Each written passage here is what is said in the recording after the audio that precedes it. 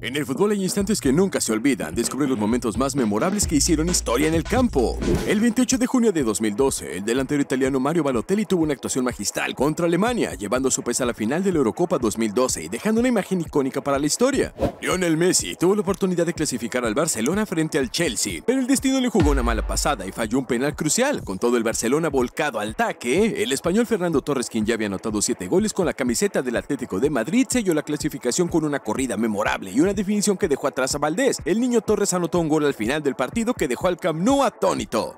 Se jugaba la prórroga en un partido que iba uno por uno con los goles marcados precisamente por los protagonistas de esta historia, Marco Materazzi y Zinedine Zidane. El francés le ofreció su camiseta al italiano, pero Materazzi respondió que prefería a su hermana, lo que llevó al famoso cabezazo de Zidane al pecho de Materazzi, resultando en la tarjeta roja que el árbitro Horacio Elizondo le mostró al asto francés. El partido de vuelta de los cuartos de final de la Liga de Campeones entre el Inter y el Milán fue suspendido en el minuto 71 debido a las bengalas que llovieron sobre el estadio de San Siro. Una de ellas impactó en el hombro derecho del portero brasileño del Milan Dida. Esta fue la forma en que los hinchas del Inter protestaron, indignados por la anulación de un gol de Esteban Cambiaso. Un disparo de Salah desde fuera del área parecía destinado a poner en ventaja a los Reds, pero en el minuto 90 el veloz Walker intervino para salvar a su equipo. Con una chilena sobre la línea de gol desvió el balón en el último momento. Ahora echemos un vistazo a la historia reciente de dos grandes futbolistas, Lionel Messi y Erling Haaland. Primero recordamos el día que Messi anotó 5 goles en la Champions League. Fue la victoria del Barcelona por 7 a 1 frente al Bayer Leverkusen en la vuelta de los octavos de final de la Champions League, el 7 de marzo de 2012 en el Camp Nou. En esa ocasión, la pulga brilló bajo la dirección de Pep Guardiola, marcando un repóker, dos goles con su pierna izquierda, uno con la derecha, y aprovechó un rebote del portero rival. Por su parte, Erling Haaland, estrella del Manchester City, se convirtió en el tercer jugador en la historia en marcar cinco goles en un partido de Champions League. El noruego, fiel a su apodo de androide, desmanteló todas las esperanzas de Leipzig en el juego de vuelta de los octavos de final, logrando un hat-trick en el primer tiempo y contribuyendo a la histórica victoria del Manchester City por 7 a 0, avanzando hacia los cuartos de final de la UEFA Champions League. El delantero portugués del Real Madrid, Cristiano Ronaldo, rompió el récord de goles en una temporada de la Liga de Campeones con este tanto, con su décimo quinto gol ante el Bayern Múnich en la vuelta de las semifinales. Ronaldo marcó el tercer gol del partido en el minuto 34 y superó el empate a 14 goles que mantenía con el Messi del Barcelona y José Altafini del Milan. Ahora entienden por qué su celebración fue tan efusiva, ¿verdad? En la final de la Copa Confederaciones 2013 entre Brasil y España, el defensor brasileño David Luiz evitó un gol de Pedro al salvar un disparo en la línea de gol cuando el marcador aún estaba 1 por 0 al final del primer tiempo. Es hora de rememorar el día en que un arquero recorrió casi 100 metros para evitar un gol de Rooney. Joe Hart protagonizó esta memorable atajada. Tras ir al área rival en busca de un gol, tuvo que regresar a toda velocidad a su arco al ver que estaba desprotegido, corriendo casi todo el campo de juego. Se lanzó de espaldas para desviar el remate del crack inglés. Observemos a Neymar, el prodigio del fútbol, y también a Neymar, el actor mundialmente famoso que en la Copa del Mundo 2018 presentó su mayor actuación. Esta vez, sin embargo, nadie le creyó al brasileño, ya que sus volteretas interminables no engañaban a nadie. El 3 de abril de 1999, en un derby entre Liverpool y Everton, Robbie Fowler simuló que inhalaba cocaína. Los aficionados del Everton habían acusado a Fowler de ser drogadicto, y él respondió a las acusaciones celebrando su gol de esa manera, deslizándose por el césped como si estuviera inhalando la droga. El 15 de septiembre de 2009, Emmanuel Adebayor protagonizó una de las mayores provocaciones en la historia del fútbol. Solo un mes antes, el delantero había dejado al Arsenal para unirse al Manchester City, lo que fue visto como una traición por los aficionados del equipo Gunner. Durante el periodo de traspasos, recibió una avalancha de críticas e insultos, así que cuando anotó en el minuto 80 del partido, se dirigió directamente a la grada donde se encontraban los hinchas del Arsenal y celebró el gol en sus caras. Posteriormente, el tegolés explicó que no podía quedarse en silencio después de escuchar a 5.000 personas insultar a su familia, que no tenía nada que ver con la situación. Este histórico gesto le costó una multa de 25.000 libras esterlinas impuestas por la FA, pero según el propio delantero valió la pena, ya que se sintió tan liberado como si hubiera salido de la cárcel. Casi al final del partido, en el minuto 120 se produjo una falta a favor de Ghana cuando todos esperaban los penales. Pansy lanzó un centro con mucha precisión, Muslera salió en falso y el balón le quedó a Pia, quien disparó a portería. Luis Suárez sacó el balón bajo el arco, pero su despeje quedó para un remate de cabeza de Asamoah, que iba directo al gol y nuevamente Luis Suárez lo sacó de la línea, esta vez con la mano. El árbitro sancionó penal y expulsó a Suárez. Gian ejecutó el penalti para asegurar el pase a las semifinales, pero su tiro se estrelló en el travesaño. Así se pitó el final del partido y la definición se iría a los penaltis.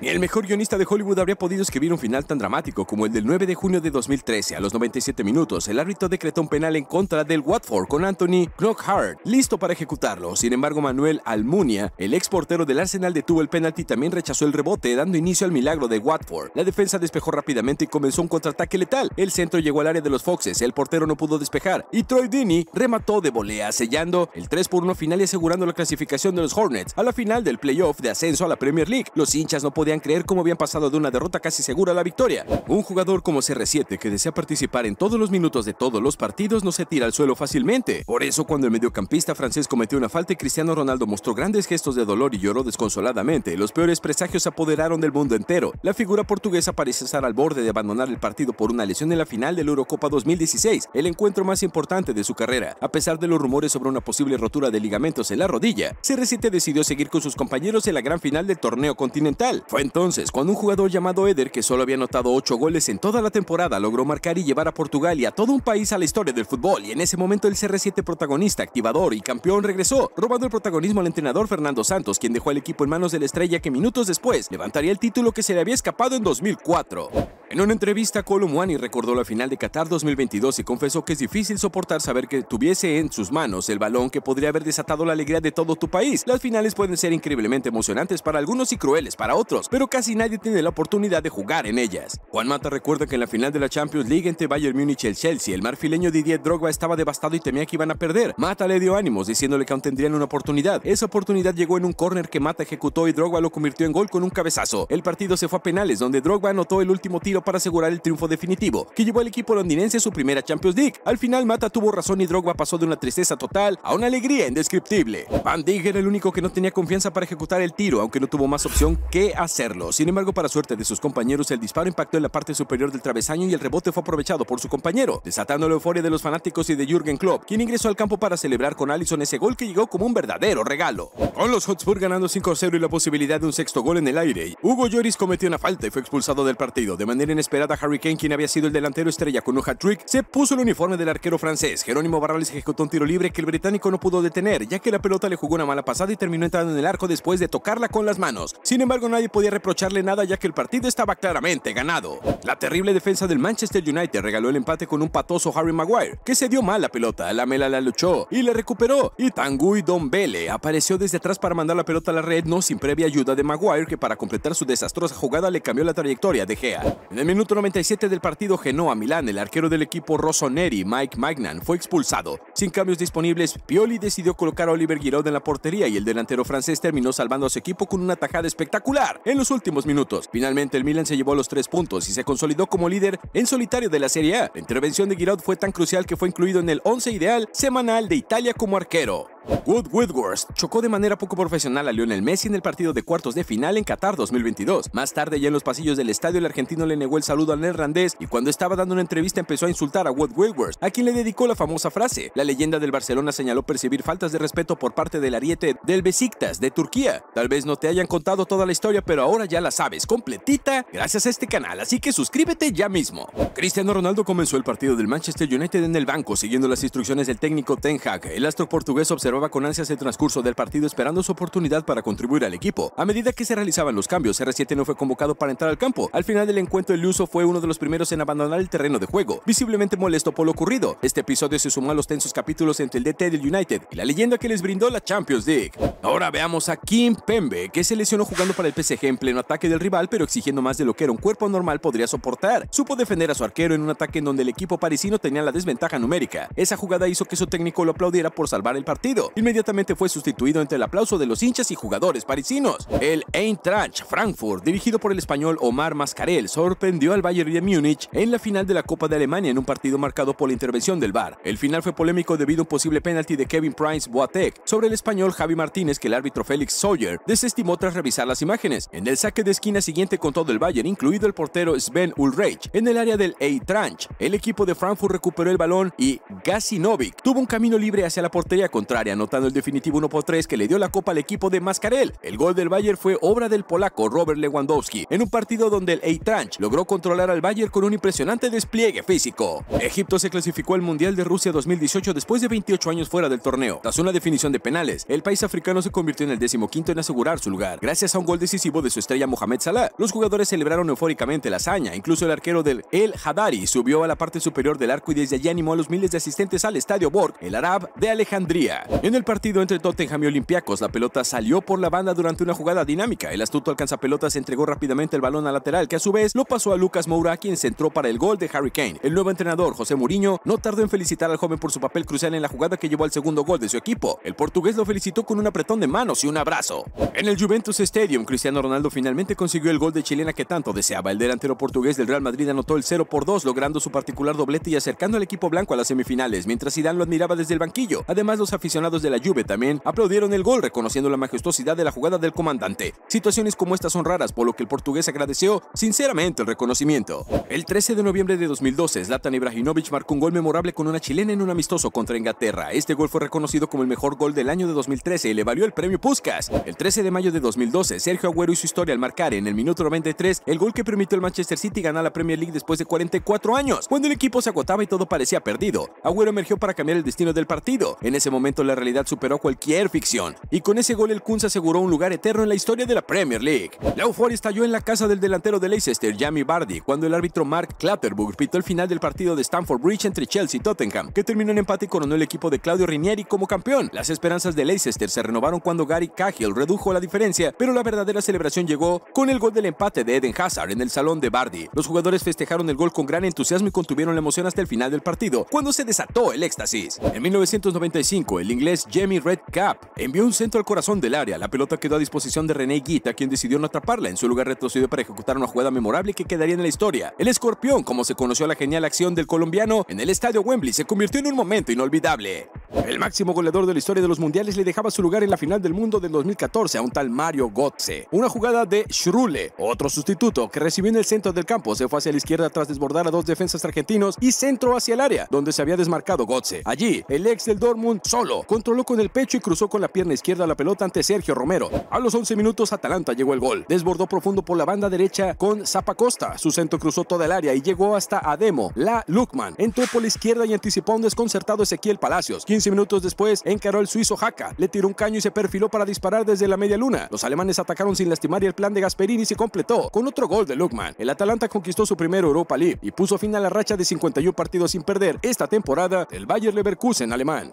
En el minuto 92 del partido, el equipo dirigido por Sven Goran Eriksson estaba perdiendo 2 por 1 contra Grecia durante los eliminatorios para la Copa Mundial de Corea-Japón 2002. Inglaterra necesitaba ganar o empatar para clasificar al Mundial, pero fue en ese momento cuando David Beckham apareció con un golazo de tiro libre para empatar el encuentro y darle así la clasificación directa a Inglaterra a la Copa del Mundo. Minutos finales en la final de la Carabao Cup y fue allí que Van Dijk desataba la locura de la afición red al filo del final de los 120 minutos, ya que el córner pateado por Tsimikas fue aprovechado por el neerlandés para poner el único gol del partido. Ese fue el que da la décima EFL Copa Liverpool y asegura un título en la última campaña de club. Para entender el fenómeno alrededor de Diego Armando Maradona hace falta revisar su partido ante Inglaterra en el Mundial de México 86 y su conquista más emblemática, el gol a los ingleses. Aquella jugada que inició en la mitad del campo de juego esquivando rivales y piernas hasta llegar al borde del área y definir frente a Shilton el gol de la victoria argentina. Aquel tanto fue coronado más tarde como el gol del siglo XX. Desde un córner desde la derecha llegó un centro y fue Costas Manolas quien se anticipó en el primer palo y marcó el 3 por 0. El central griego había sido el otro que había anotado en su propia puerta en el duelo de ida, por lo que su conquista resultó una revancha personal. El Barcelona intentó por cielo y tierra conseguir el descuento que les hubiese dado la clasificación, pero se encontró con una Roma que bien plantada en el fondo de la cancha le negó cualquier posibilidad de marcar. Sipigüe Tasha Balala quedó en la historia grande del fútbol por el primer gol de Sudáfrica en el Mundial 2010 que se jugó en dicho país y que hasta el momento es la única nación africana en poder organizar un evento de estas características. El hombre marcó una antes y un después para su seleccionado en medio de su Copa del Mundo, lo cual sin dudas es más importante, teniendo en cuenta lo que significó aquel partido. Las probabilidades de victoria para el Real Madrid eran realmente bajas frente al City, pero el fútbol sorprende. El partido estaba 1 por 1 y la serie 4-5 para los ciudadanos. Cuando en los primeros 60 segundos de descuento, Rodrigo volvió a sacudir la llave. Dani Carvajal sacó un centro con veneno desde la derecha y Rodrigo de cabeza venció la resistencia de Ederson e igualó la serie. Cuando Brasil más lo intentaba, apareció el portero Thibaut Courtois para decirle no al scratch. El portero de Bélgica se estiró al máximo para evitar el gol de Neymar, así decir que Bélgica pasó a las semifinales de Rusia 2018.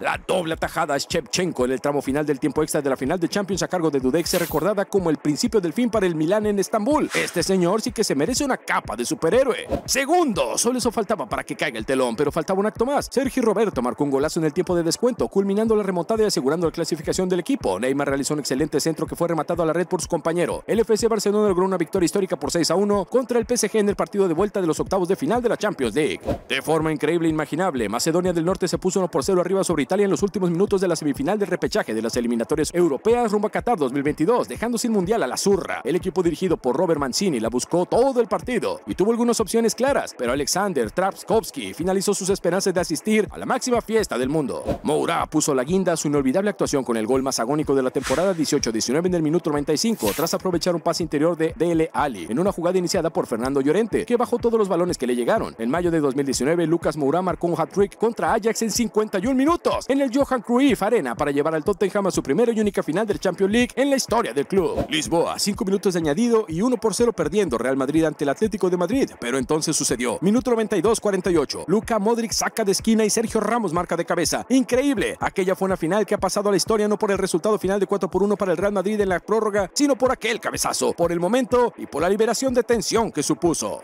Jack Grealish entró como cuchillo en mantequilla en el área madridista en el minuto 86, superó a un Eder Militao para luego poner una pelota con dirección a portería. Si no entraba directa, Phil Foden estaba para remacharla. En una histórica salvada, Ferland Wendy evitó el tanto de la propia línea de gol con un despeje que golpeó en el jugador inglés y cuyo rechace, contra todo pronóstico, acabó fuera de los tres palos. Kylian Mbappé quedó mano a mano con Gregor Kobel, el arquero del Dortmund, y lo dejó en el camino con un toque sutil hacia la izquierda, pero su remate no fue del todo certero. Pese a sus escasas posibilidades, el defensor tuvo premio y sacó la pelota al córner evitando el 1 por 0. Mané remató ante la salida de Ederson, pero pegó en el palo y regresó. Stones reaccionó y quiso reventar, pero no pudo porque el arquero se le tiró encima y lo bloqueó. La pelota volvió a tomar el rumbo al arco, pero el defensor se recuperó en un instante y despejó sobre la línea en una jugada increíble.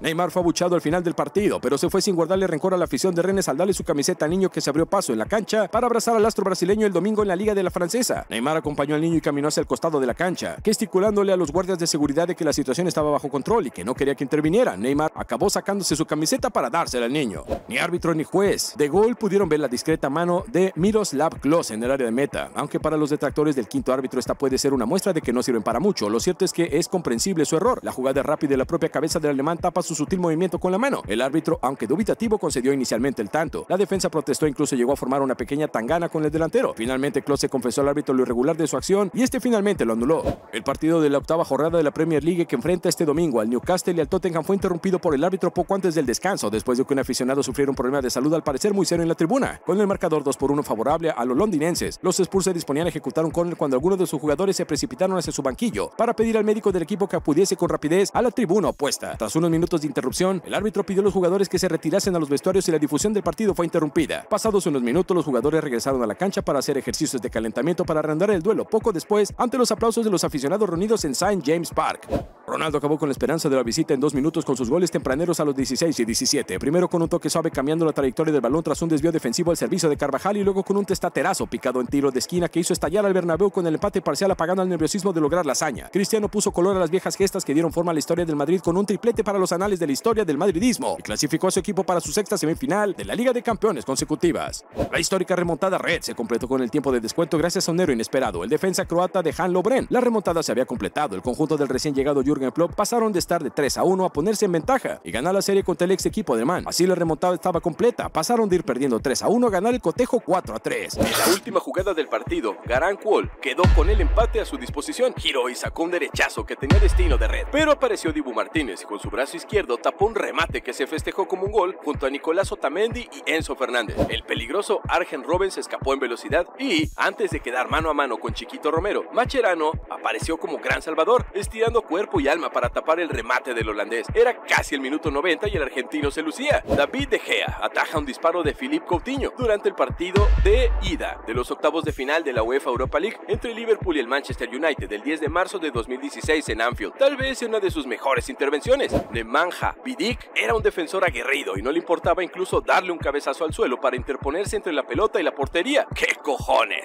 Solito, Lukaku cabeceó al medio del arco y, a puros reflejos, Ederson la terminó sacando, enviándola al tiro de esquina. ¡Milagroso! Todo esto ya a los 87 minutos. En otro centro al área que Gossens ganó por la izquierda y le mandó al corazón del área chica, el arquero brasileño se convirtió en una de las figuras de la final. Al minuto 97 el silencio y la incertidumbre se apoderó del escenario inglés, debido a que el árbitro del compromiso pitó cobró desde los 12 pasos para el Copenhague. Frente al balón se paró Lerarger, quien se encontró con la estirada de Onana, que salvó los muebles a los Diablos Rojos y por fin saboreó un momento de gloria en Old Trafford. El arquero del United sonrió al final. Recibió los aplausos de los hinchas del rojo de la ciudad de Manchester y de sus compañeros de equipo. Sin duda todo un desahogo para André Onana, que venía siendo muy criticado. El otro criticado era Harry Maguire, que les dio el gol de la victoria. ¿Cuál de todos estos momentos es tu favorito? El mío será el preciso instante en que le des al botón de suscribirte. De regalo te dejo estos momentos superhumanos.